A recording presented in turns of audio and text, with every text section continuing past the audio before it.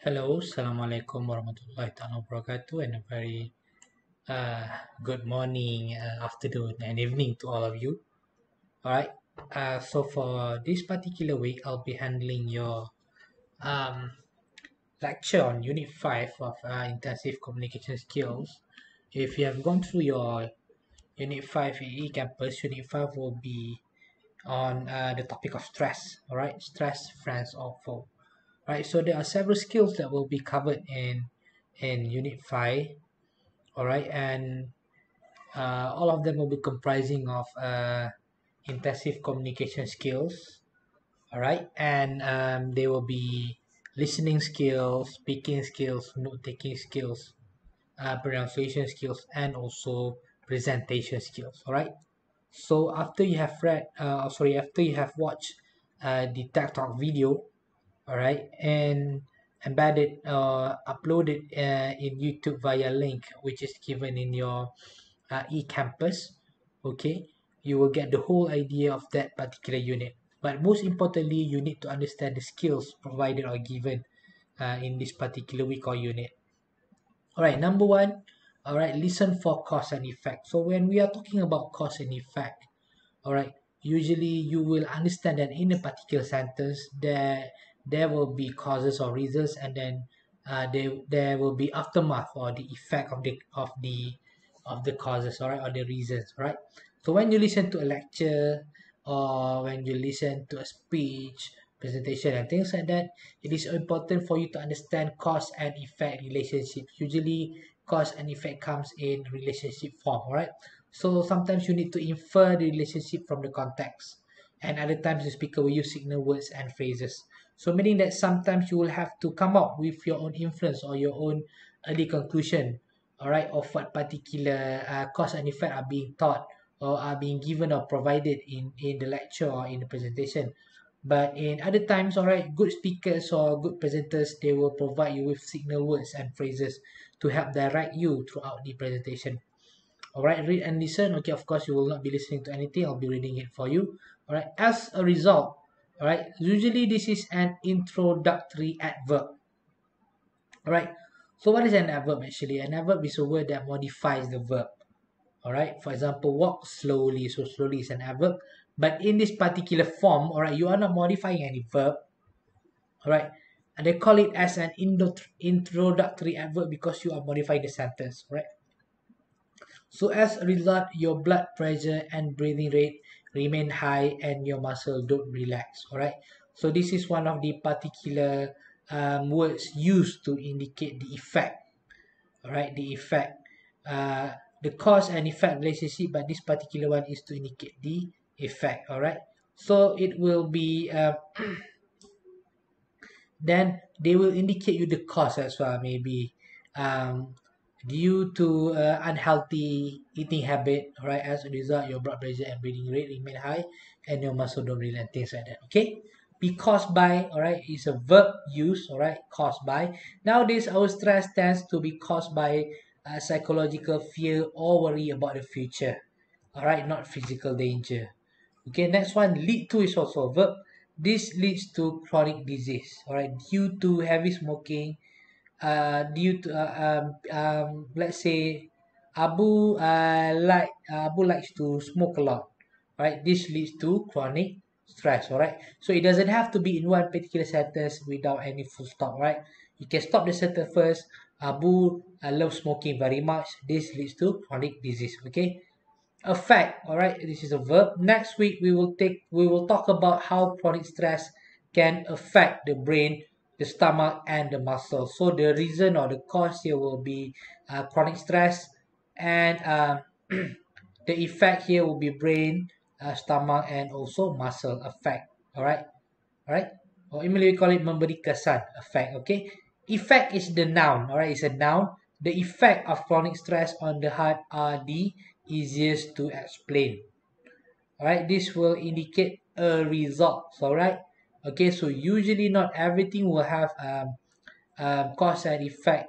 Uh, mostly they will have cause and effect relationship but sometimes the signal word used right will help you to direct yourself towards the cause and also effect being delivered in the speech. Okay next one. All right previously we were listening or or hearing about listening about uh, cause and effect. Right now you will be talking about cause and effect.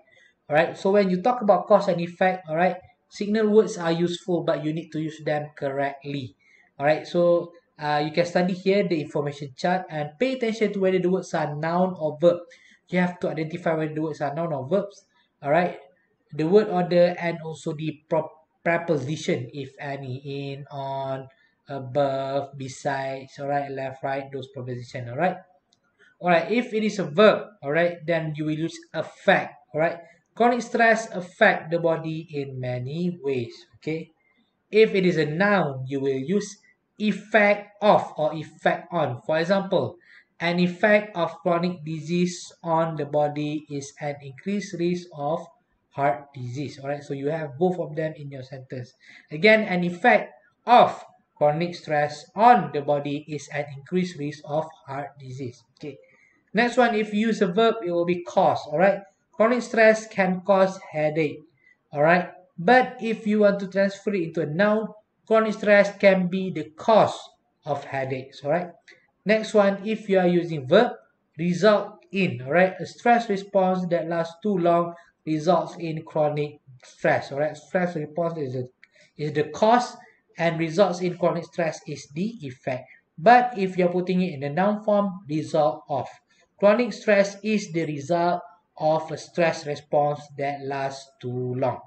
Okay, all right.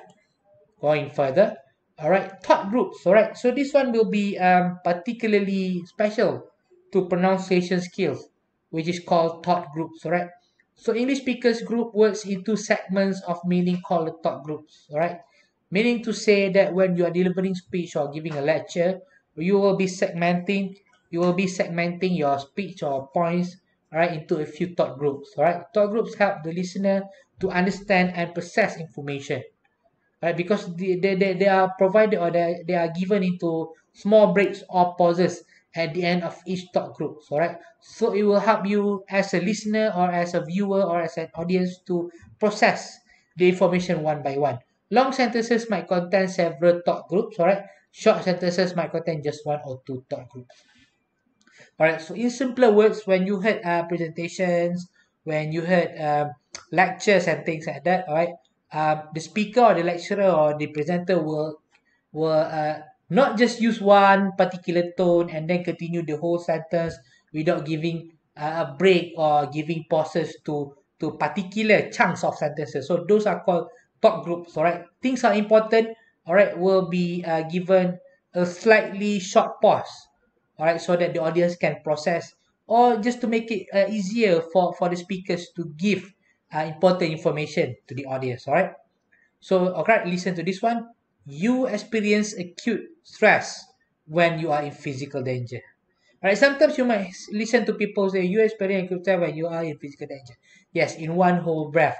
But actually all right a good way of delivering this particular information is by putting it into thought groups you experience acute stress when you are in physical danger all right a short pause in between these two chunks of sentences can help the audience to direct all right which one is the cause which one is the effect which one is important which one is less important all right although there are no definite rules all right there are no definite rules for putting words into thought groups all right but here are some right example of guidelines that you can use all right you can use uh, uh a, a, these phrases all right and they should not and you should not separate them if you found these phrases okay? For example adjective all right from the noun they modify. So you have an adjective and it will modify the noun. For example acute stress. So acute here is the adjective and stress is a noun. Adverbs from the words they modify. Alright, so adverbs can modify the verbs, alright, of course, walk slowly, or they can modify uh, the adverb itself, alright, just until, or even modify the verb, alright, modify the verb itself, okay, mm, for example, uh, uh, you know, uh, they, they, uh, down to the very bottom of the sea, if it's modify the adjective, um, if you use it an adverb, alright, I walk very slow, or things like that. Okay? Very simple one all right so when you you you uh you are putting or delivering your speech all right these particular um, uh, indicators will help to direct your audience towards important points of your speeches all right preposition from the nouns or noun phrases that follow them. For example in physical danger all right above uh, the limit or things like that okay?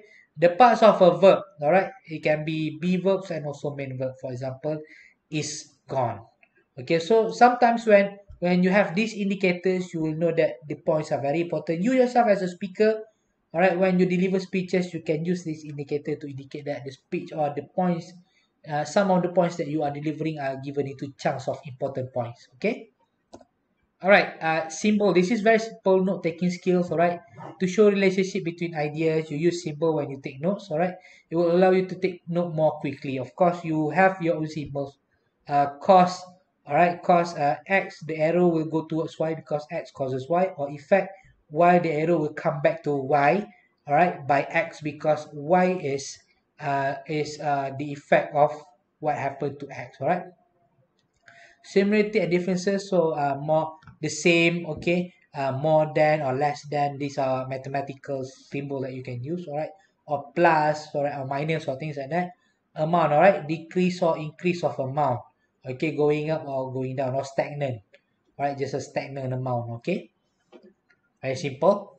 All right varying your space when you you you you provide uh you you are presenting all right uh you can vary your your pace just to help again direct your um audience or listeners throughout your speech all right so by varying the pace of your speech in the presentation okay uh, it can help you to emphasize on important interesting or maybe unexpected piece of information all right uh, it will help you to create drama and suspense of course all right so that your audience is eagerly waiting for what you will say next all right so for instance you can vary your pace by uh, using pauses before and after the information you want to emphasize.